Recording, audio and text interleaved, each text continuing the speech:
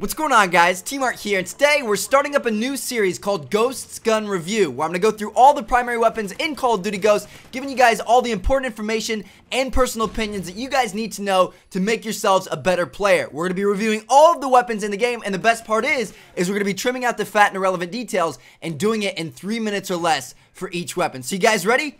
Here we go. Now in this episode, we're starting off with the AK-12. This is one of my favorite guns in the game, and it's definitely a go-to one for me. No matter what map I'm on, no matter what game type I'm playing, this is a very, very solid gun that constantly yields good results. So I had to start off with my baby here. So uh, first up, the iron sights are absolutely amazing. They're very open-ended with a trident in the middle that makes it very easy to see what's going on. And in fact, I think they're some of the best iron sights in the game. I think you're doing yourself a disservice if you're using an optic on this weapon. It's perfect without it. Use your attachment slots on something else. Now next up, we've got damage. This thing does 49 damage up close and 25 damage at a distance. It only takes 100 damage to kill somebody So this thing is a very, very high damage assault rifle. The average for the assault rifles class is 43 up close and 22 at a distance. So this thing is definitely above average. And, and the only thing that does more damage than it is the MSBS, which does 55 per bullet.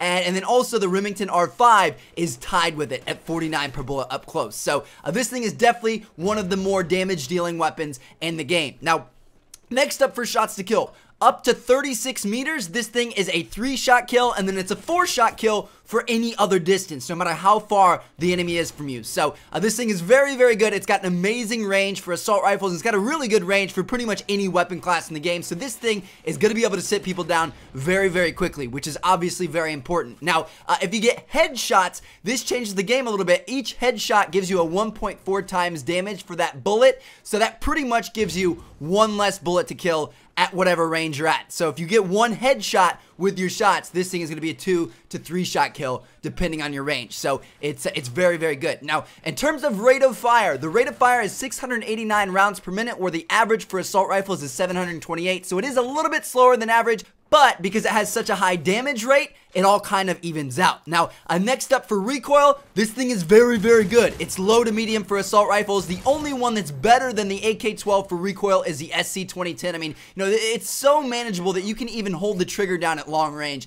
and still be very accurate. So, recoil is not a problem with this weapon. The magazine size is standard for assault rifles. Pretty much all of them are 30 and 45. And then finally, for the reload speed, this is its only downfall. The AK-12 does reload slower than most of the other weapons in the game, and sometimes I find myself in bad situations because of that, but, you know, with all the other upsides, it's really not that bad. So, uh, boom, there you guys have it. That is the AK-12 in a nutshell uh, pretty much all of the important stats for this weapon in three minutes or less. So I hope you guys enjoy that. Now, uh, towards the end of these Ghost Gun review videos, I want to give you guys my recommended class setups. Now, obviously, we couldn't fit this in three minutes because it's usually going to take a little bit longer. But, uh, but yeah, I want to give you guys recommended classes for each of the weapons that we cover. Now, uh, for the AK-12, I've only really got one go-to class that, like I said, it, it's good in any mode, in any map, you know, anything you want. This thing is going to outclass most of the other weapons on the battlefield. So, uh, what it is, is it's right here. For my attachments, I always use silencer and grip. They're just, they're too good, man. Silencer keeps you off the map, it keeps you stealthy because this gun is so,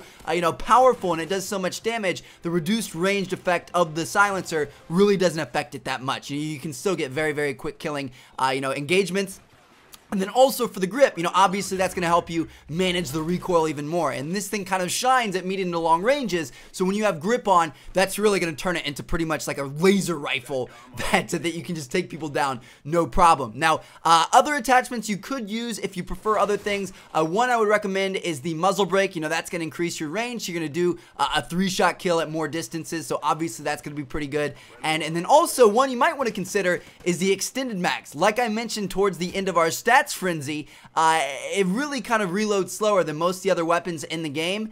And, and so, you know, if you have those extra 15 bullets, you know, you start with 30. If you put extended mags on, you get 45. If you have those extra 15 bullets, that's really going to help you out if you struggle with the reloading feature of this weapon. So uh, that could be something you could look into. Uh, and then also for my AK-12 class, as with most of my multiplayer classes, I like to load up on perks. I don't think that I use lethal and tactical grenades and secondaries enough to warrant not using perks, so what I like to run it with is ready up, agility, marathon, quick draw, and off the grid. I want to stay silent, I want to get in people's faces, I want to be rushing spawns, I want to be flanking constantly. That's how I like to use this weapon.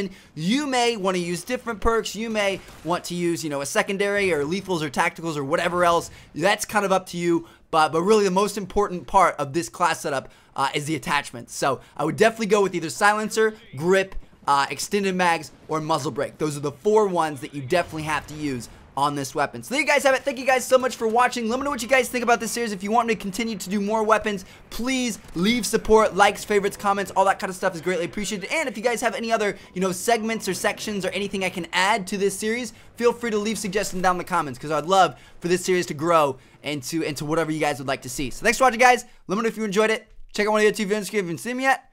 Peace out.